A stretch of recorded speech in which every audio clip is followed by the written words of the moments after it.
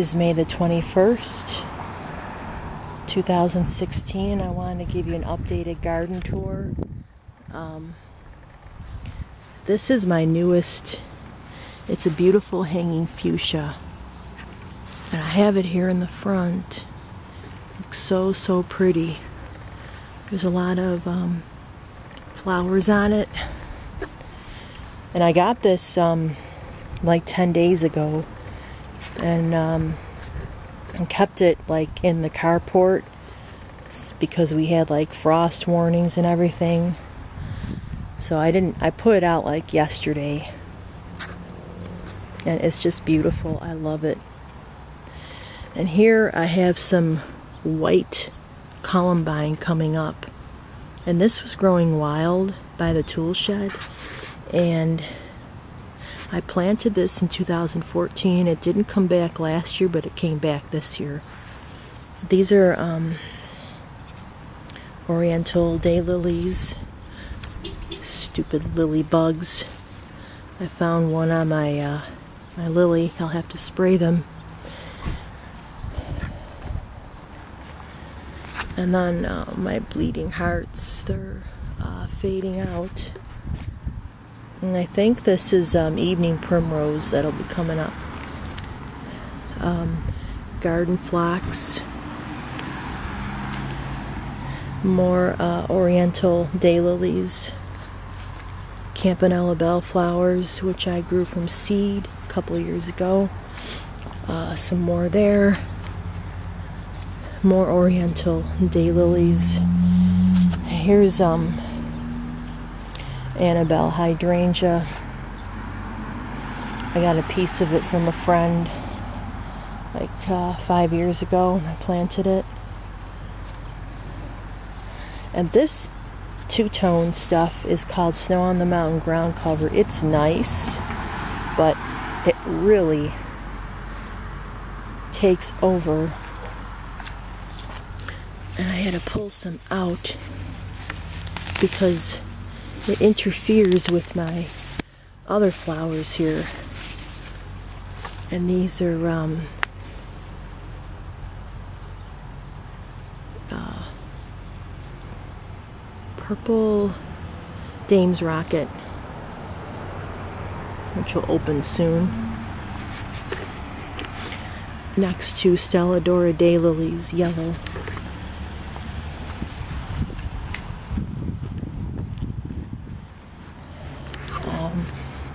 My tulips are done blooming. More of my other bleeding heart. I'll miss them. They were so beautiful when they were in bloom. Hostas. Uh, Campanella bellflower. There. More of this two-tone stuff that I have to pull out because it's uh, interfering with my lilies. Here's my largest big um, bleeding heart garden phlox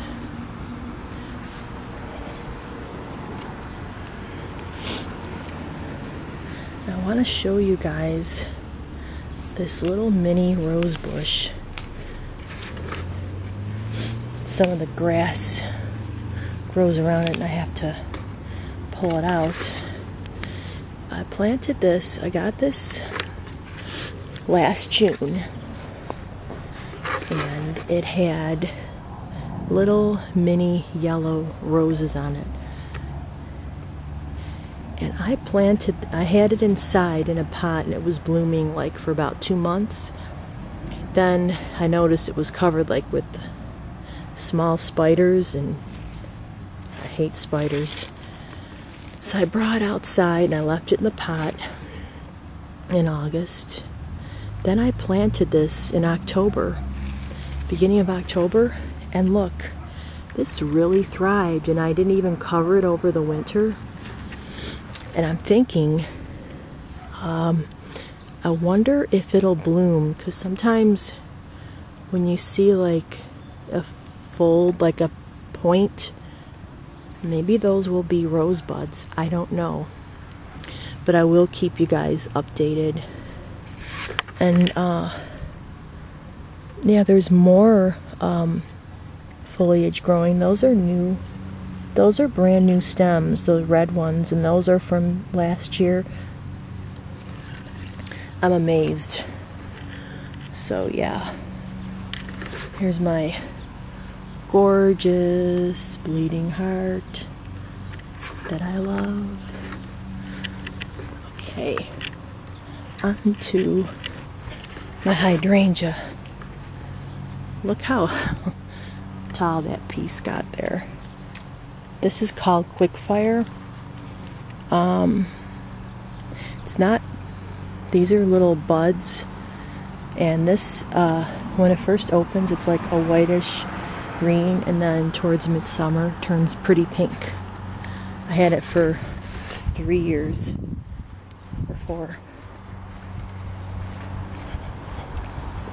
These are tiger lilies.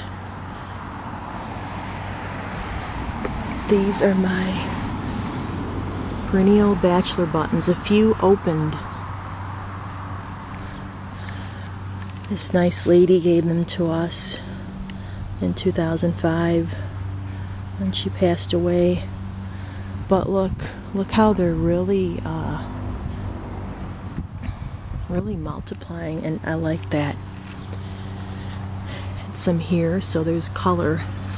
This is phlox again, and that'll be a beautiful violet color. More snow on the mountain ground cover. Um, this is uh, uh, Dame's Rocket again.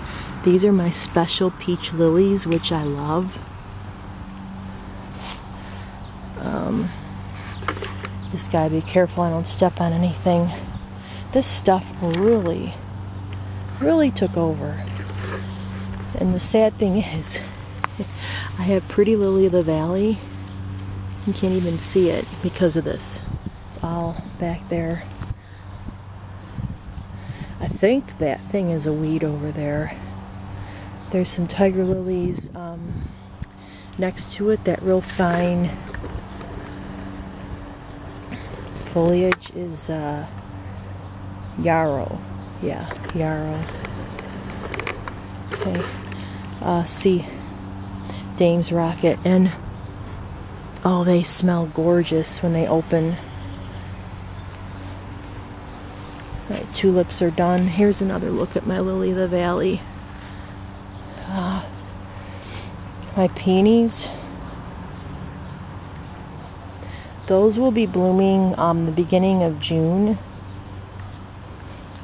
I actually have two bushes. They're both pretty pink. One's lighter than the other. And then those are black-eyed Susans. Uh, purple cones over there that'll come up. Stella de Oro daylilies. They make a great border solid hostas, two tone hosta there, another solid, more snow on the mountain ground cover, which spreads like wildfire, and uh, tiger lilies. My uh, rose bush, the pinkish one, light pink I hope it'll come back for me this year. I planted it like 10 years ago, and it was uh, my grandfather's. He planted years and years ago. I think it was like 1960. And I dug up a little piece from my grandparents' house. So, this I love. This is, uh, yeah, those are those um, pretty purple flowers again, the Dame's Rocket more Dame's Rocket in there with Tiger Lilies, more Dame's Rocket. These are going to be like giant black-eyed Susans. I got those from the country, like back behind my church. Um, I'm going to show you the back. Rose Roses Sharon coming up. Tiger Lilies. Check out the rose bush those are classic red. They didn't come back for 10 years and then they finally came back like in 2006. But uh, I don't know. They didn't do so well last year. They didn't bloom at all, but I'm hoping hoping this year they will do good. I think Wait a minute. There it is, right there. This stupid weed, I have no idea where it came from. I don't know what it is, but those are the roses right there. And then the rose of Sharon, they don't bloom till midsummer. Rose of Sharon. Rose of Sharon. Here is my gorgeous lilac bush. And it's still looking pretty fresh. But um, they're starting to turn a little yellowish but it was so beautiful when it was in bloom. I just love the smell of lilacs and when the wind when the wind blows you could really smell them. But this is just like something.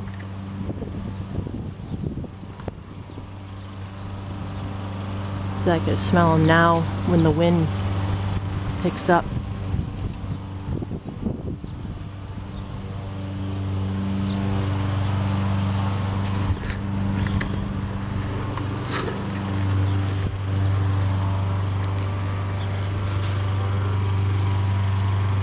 There's the rest of them. Wow.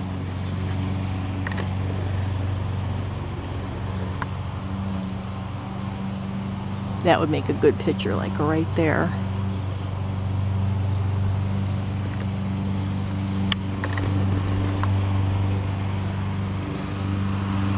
This one looks still fresh. There's still some buds on it.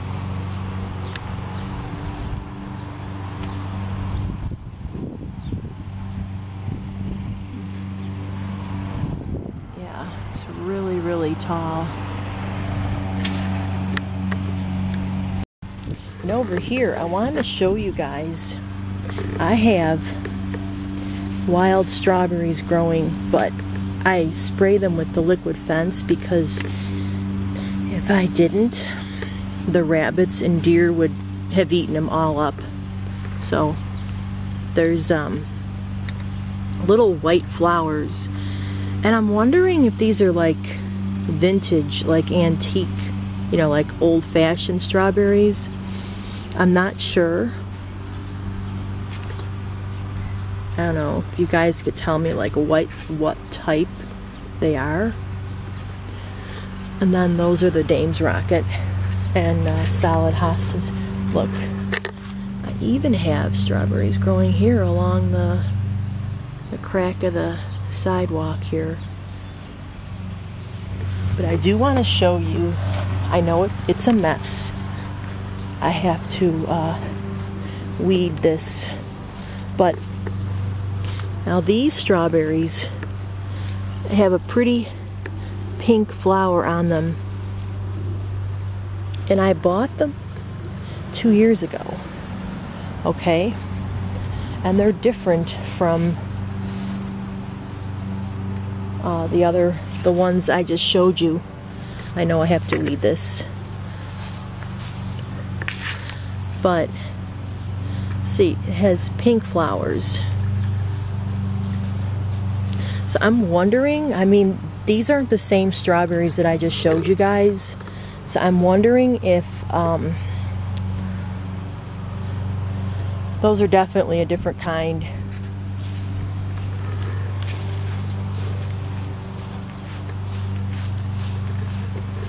See? Entirely different foliage entirely different flowers. Um, so yeah, I'm wondering. And there's even some back there. Okay, now here's the other side. I have like five gardens, I think. Yeah. Um, these are chives. And believe This is peppermint. And uh, I think this is thyme. Yeah, it's thyme. So, uh, my neighbor, she gave this to me last year, uh, midsummer, and I see some rosemary too. This had basil, chives, um, thyme, rosemary, and peppermint. So everything's coming back, and I'm just like, wow, I'm amazed. I didn't know that thyme was a perennial. I've never grown thyme, so I wouldn't know. Um, now these are pretty little, like a pansy type flower. I have no idea where they're from, so I don't know. Oh, and this had sweet basil too, but the basil doesn't come back every year. But I do have a root of basil that I'm going to plant. And then this is a regular mint that I uh, grew. I have to clip some of the grass in here.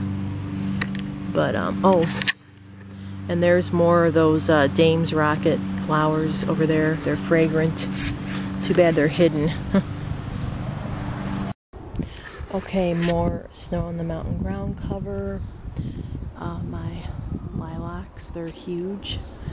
These I actually got from uh, that lilac bush over there that I was just showing you guys. These are still very fresh, I'd say. Um, yeah. Probably because this is the north east side of the house and they don't fade as much as those did with the sun. Those have full sun. That's the south over there. Um, so yeah. They're beautiful.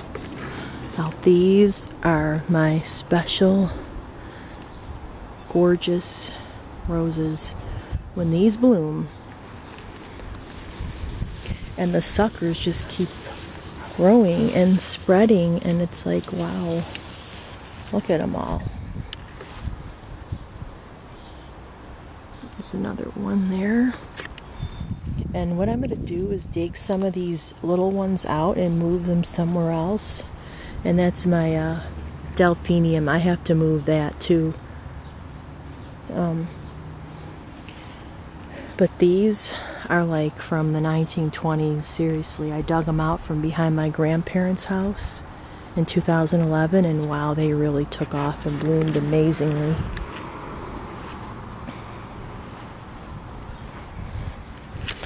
There's my hosta coming up. I have more hostas here. Solid two tones. Some of the hostas are a little late blooming because we had some cold weather. Uh, you could see more of this. This rose bush is just. I've never heard of so many suckers like spreading. I mean, there's like one, two, three, four, five, six, seven, eight, nine. Oh my goodness. Yeah.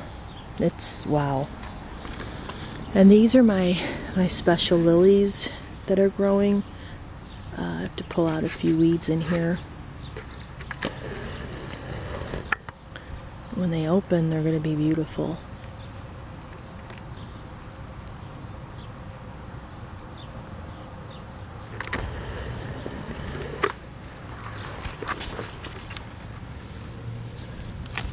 See, this is just that stupid, those weeds that grow in between and just and I can't use any weed killer because I do have spray to use, but I can't put it near the plants because it'll kill them.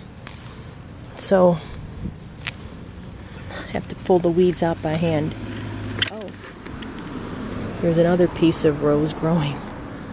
And those are evening primroses there. But yeah. These are all my hostas. I love hostas. And uh, the rest of the Rose of Sharon, more hostas, um, tiger lilies. Gotta get that weed out. Snow on the mountain ground cover, more hostas.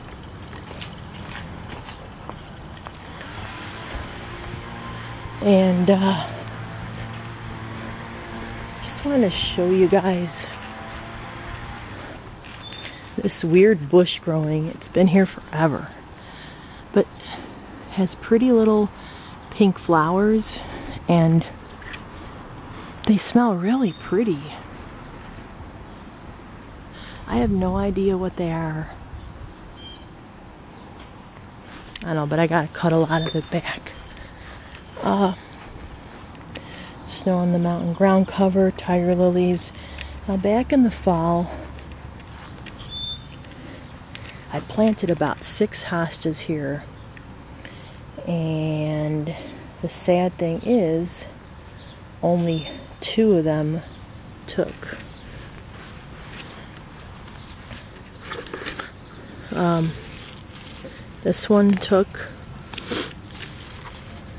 this beautiful two-tone. I mean, I thought this would be a perfect place for uh, hostas because um, it's shady. But I have some uh, solids growing here. I'm just not sure like what had happened to the rest that I planted. So, yeah, and there's a tiger lily there.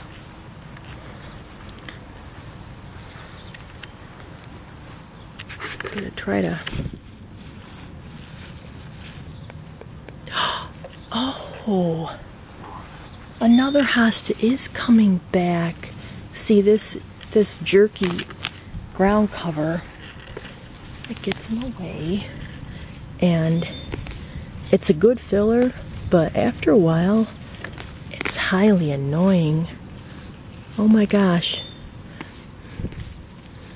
So I'm just removing it like right now while I'm making this video just to show you guys that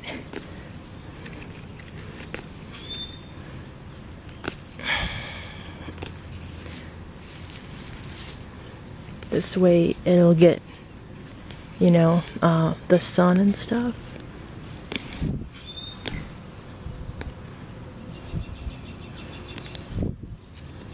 Now you guys um, could see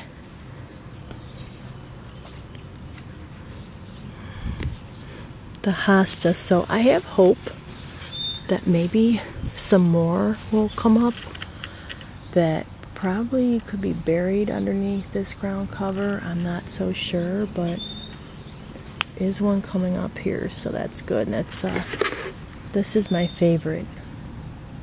I love the two-tone. I don't forget, we had cold weather, so everything got set back. And here in the northeast. But yeah. So I'm glad at that. This was the first hosta to come back. This one right here, and then I noticed that solid one. So hopefully, maybe I'll find more. I don't know. Well, that's just the ground cover. Oh my goodness, I do see another one. Oh, this is good. See, look at See, it's this ground cover that's annoying and poor thing is trying to come through and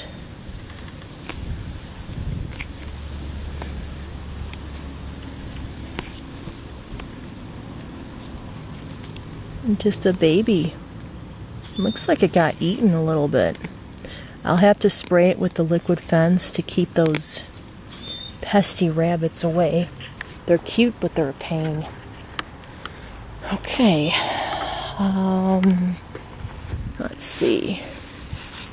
Any more coming back? Do not see. Okay.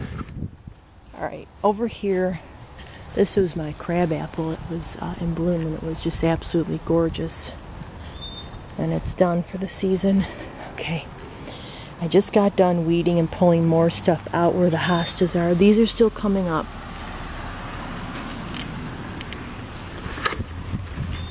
That's my delphinium. So yeah, uh, and this is um, has little buds on it. This is called salvia, and it's deer resistant, rabbit, which is good. Those are the two-tone ground cover, the snow in the mountain. Over there, if you look close, those are the Campanella bell flowers, which will be coming up. I used to have more, and they're over here, and I have no idea what happened to them. Black-eyed Susans. Hostas, hostas. Snow on the mountain. These, I don't even know what they are, but that's, I think, Shasta Daisy, I think. I think I planted some stuff from seed. Uh, oh, here's my, um, I know what this is. Right over here, that's my red cone flowers. And, uh, again, this ground cover it just takes over.